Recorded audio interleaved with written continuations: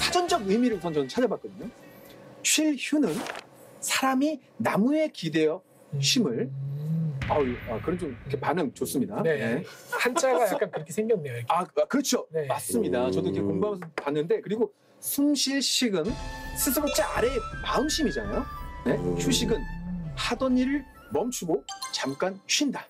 일단 쉴때 네. 주로 뭘 하시는지 이하님부터 말씀해 주세요. 첫 번째는 저는 부족한 잠을 좀 채우고 네. 네, 아, 둘째는 아, 운동을 굉장히 좋아, 좋아해요. 음. 어떤 운동? 생각보다 운동을 좋아합니다. 어, 어떤 운동을? 저는 배드민턴, 그다음 야구, 네. 그다음 뭐 골프도 좋아하고, 그다음 수영도 수영은 좀 A급 정도 될 것 같아요. 아, 수영은 A급. 네. 그럼 뭐 접영 버터플라이 뭐 이런 것도 다 하시나요? 하죠. 네. 그러니까 서핑은 제가 한 번도 안 해봤고, 네. 그래서 오늘 서핑에 또 이렇게 최고봉을 만났기 때문에 제가 꼭 한번 최고봉 은 아니 욕 먹습니다 저희. 아, 서핑계 B급인가요 그러면? 제 몸무게로는 거의 top class인데 이런 이런 사람도 할 수 있다는 걸 보여주고는 있는데 네. 뭐 실력으로는 뭐 아직 뭐 그래서 오늘 잠깐 만나서 서핑에 대해서 네. 얘기를 한번 들었는데 그것도 재밌을 것 이제 같아요. 또 서핑에 또 빠지시겠네요. 그러면 휴식이라는 그 단어를 이렇게 어, 운동을 통해서 휴식을 하시는. 네, 제 경우는 그런 것 같아요. 아, 그럼 어떻게 또 휴식을? 저는 휴식할 때는 서핑 하는 거 좋아하고요. 아, 서핑. 네. 그리고 기본적으로는 뭐 저는 가만히 있는 거 제일 좋아해요. 가만히 생각하면서 가만히 가만히 그냥. 네, 멍 가만히. 때리기? 아무것도 안 하고 핸드폰도 안 들고 아, 그냥 가, 그럼 뭘 하시는 거예요? 가만히. 그래도 사람이 이게 생리학적으로, 네. 생치학적으로 네.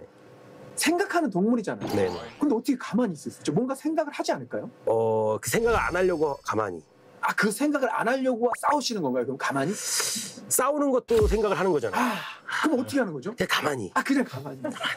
그, 뭐, 이렇게. 아, 안 돼, 안 돼. 아예 안 아, 돼. 그냥 가만히. 그냥 바다를 보고 가만히. 가만히. 바다 이런 거 보는 거 좋아요. 뭔가 하나 시선이 어디 집중되지도 않으면서 앞에 뭔가 아른아른 거리면서 네. 멍하니 있을 수 있는 걸 바라보는 게 되게 좋아요. 몽 때리는 모습 한번 보고 싶은데. 그냥 그냥 한번 네. 잠깐 보도록 하겠습니다. 이렇게 보겠습니다. 네. 그러면 또 어떤? 아, 나- 저는 파도가 있을 때는 서핑을 하고 그렇지 않으면 좀 여행을 좀 잘 다니는 편인데 아, 여행. 좀 돌아다니는 걸 좋아해서 네네. 네. 여행하고 네네네. 아, 서핑. 그럼 두 분은 공통점이 있네요.